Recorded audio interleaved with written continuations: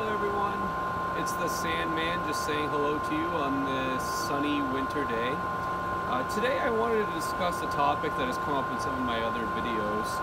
Viewers have asked about the type of uniform that I wear. So depending on the type of property that a security officer patrols, he or she will most likely wear a different uniform.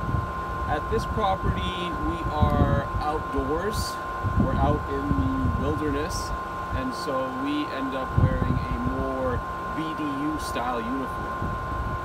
Now, the BDU style uniform includes the polo type shirt, either long sleeve or short sleeve, as well as the cargo pants, so that way you can store your different types of equipment. Now, also, I wear a heavy duty to stay warm and I wear either a ball cap or winter hat as well as gloves because we do a lot of work in the outdoors here.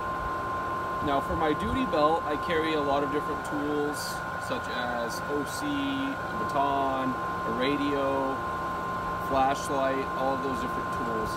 But my preference is to travel fairly lightly. Uh, I don't like to over burden my duty belt with a lot of different tools because ultimately you have to consider that you're carrying a lot of extra weight around. So for my personal everyday carry, I like to carry the just the essentials. So that's the basic rundown of the uniform that I wear. And also I tend to prefer this coat because it has the reflective markings on it that help to identify me at night as well, especially if I'm trying to direct traffic. Um, these help to make me stand out.